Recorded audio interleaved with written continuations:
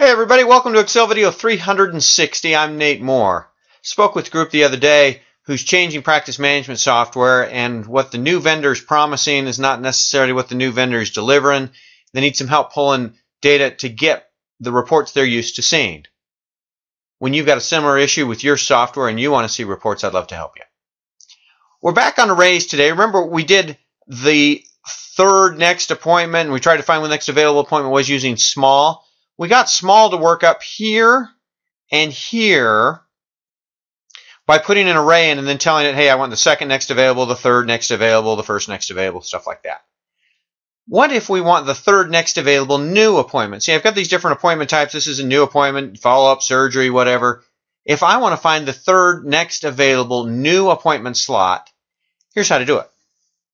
I'm going to do equals small like we did before. But instead of putting in the array that we had last time where we just took all the dates and times, what I'm going to do is I'm going to put an if statement in here and I'm going to say if this appointment type range here, and I'm just in the habit of hitting F4 to lock that range in in case I ever had to copy this formula. If that range equals new, and I need to put new in quotes, otherwise Excel is going to go look for something a formula called new. And I'll leave it at lowercase so you can see it's not necessarily case sensitive. I'm, I do not have to find in, capital NEW. NEW is going to work. If this range equals new, comma, what do I want to do? I want this range. I want every appointment date and time where this range is new. So again, let me lock that in with the F4 key and do a right parenthesis to end my if statement. So my array now, instead of just being this array of dates and times, I've qualified that by saying if the appointment type's new, then give me these dates and times. Now what I need to do is do a comma and finish the small formula. There's the array. K is what number I want. I want the third next available appointment. We're going to do a right parenthesis to finish the small formula. Control, Shift, and Enter. So what do we do?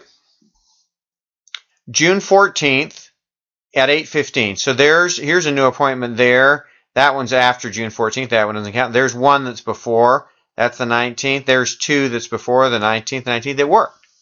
So what we're doing, rather than just have a ordinary array there, B3 to B22, we're saying only give me B3 to B22 if the appointment type in C3 to C22 is new. See how that makes it easier? I mean, easier may be a little strong, but you see how it makes it possible to qualify the array to look for things. I'm going to show you one more thing, one, one more way to replicate what we did up here. What I'm going to do this time is I'm going to select all three cells, and I'm just going to replicate what I did up here. I'm not worried about a new appointment. What I want to do is all three formulas at once in an array. So what I'm going to do is I'm going to say equals small to get the smallest appointment. What's my array? It's this range here. We'll do a 4 to lock that in. Comma, and now what we're going to do a little bit differently, we're going to throw an array in for k. Well, how am I going to do that? I've got to put, when I'm using constants, remember, I have to put this bracket in. 1, semicolon 2, semicolon 3. I'm going to do the bracket again, and then I have to do a parenthesis to finish the small formula. So what's my formula doing?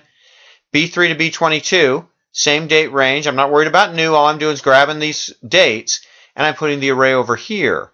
1 semicolon 2 semicolon 3. Now we're going to do Control Shift Enter, and that will fill in these three appointments all at once, give me the same answers that I had up here by doing three separate formulas. Two different ways to use arrays in Excel Video 360. Here we qualified the array in the first part of the small formula. Here we added constants to the array in the second part of the Excel formula. We're going to get fancier than that, and we're going to do it next time. Thanks for watching.